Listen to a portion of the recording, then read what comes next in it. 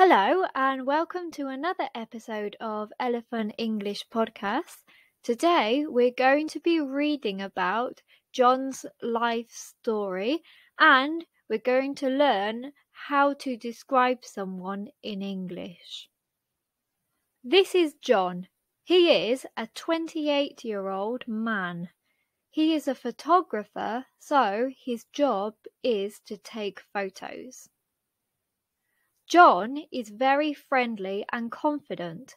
He loves spending time with his family and with his friends.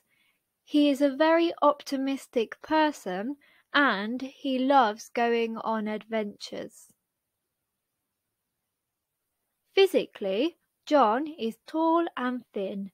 He has got short dark hair and sometimes he has a beard. His eyes are small and green. He usually wears comfortable clothes. John lives in London, the capital city of England. He lives in a flat in the centre of the city with three of his friends.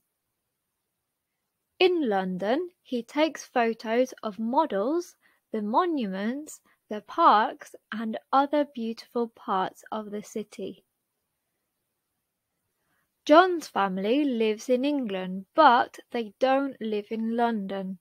They live in the north of England in Newcastle. John has a sister. His sister is 25 years old. She is a teacher, but she likes photography too. Sometimes John takes photos of her. He loves her very much. John's hobby is cooking. Before he was a photographer, he worked as a chef. He is very good at cooking. His favorite food to cook is a burrito. John has a pet. He has a cat. His cat is called Pippi. She is white and brown.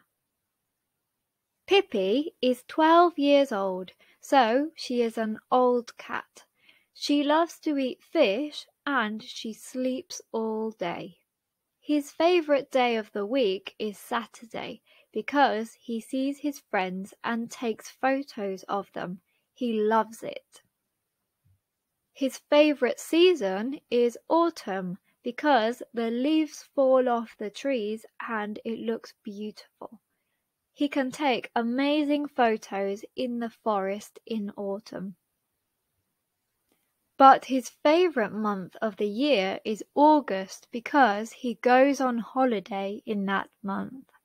He usually goes to Italy or Spain, but sometimes he travels to places like Hong Kong or New York.